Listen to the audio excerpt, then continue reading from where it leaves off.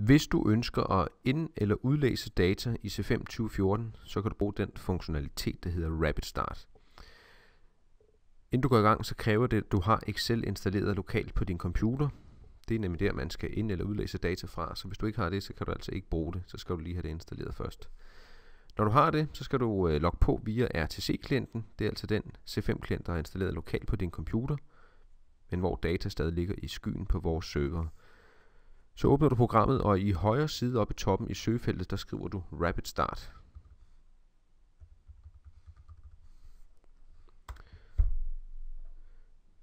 Så får du det her skærmbillede frem. Og der vælger du det, der hedder konfigurationsklade. Her får du så en liste over den type information, som du kan sende ud til Excel, redigere og efterfølgende indlæse. Hvis det for eksempel er dit kundekartotek for et tidligere system, du gerne vil have læst ind i C5 2014, så markerer du linjen her, hvor der står debitor, der er dine kunder. Så klikker du her på udlæs til skabelon. Her klikker vi ja. Så gemmer du filen på din computer. Og lige nu der tager den de kunder, der er Lige nu tager den de eksisterende kunder, der ligger i C5 2014 og udlæser til et Excel-ark. Og hvis du ikke har nogen, så vil Excel-arket være blankt, men du vil stadig kunne se alle de felter, hvor du kan skrive data i.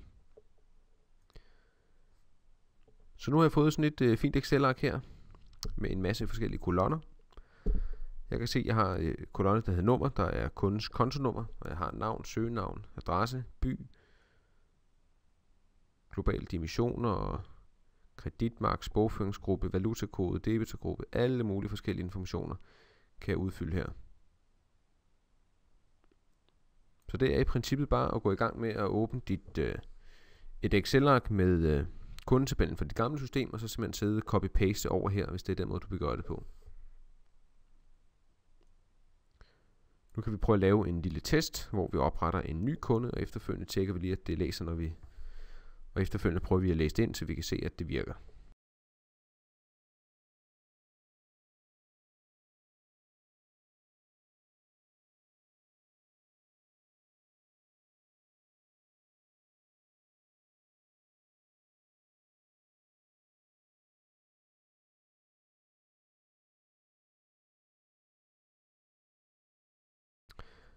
Når du har udfyldt alle de informationer, du vil have til hver enkelt kunde, så klikker du på Gem, så går du tilbage i C5 2014.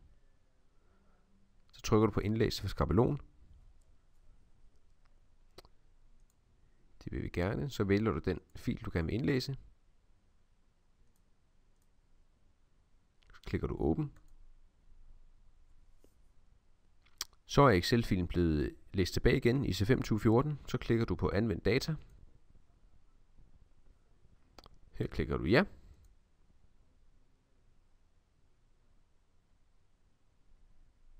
OK. Klikker du OK til skærmbilledet, så lukker vi det ned. Så kan vi lige prøve at gå tilbage og se i listen af vores kunder. Nu skulle vi meget gerne have fået en ny kunde på, der hedder Inventu IT. Her kan vi se, der er altså den kunde, jeg lige har oprettet over i Excel-arket, der er blevet læst ind.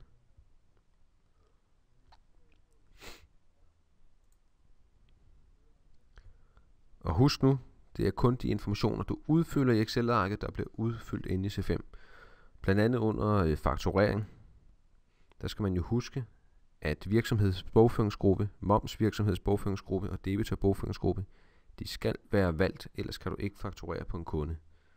Så hvis du ikke har sat den ude i Excel-arket, så skal du altså gå ind manuelt og påføre de her felter manuelt for hver enkelt kunde, før de kan faktureres.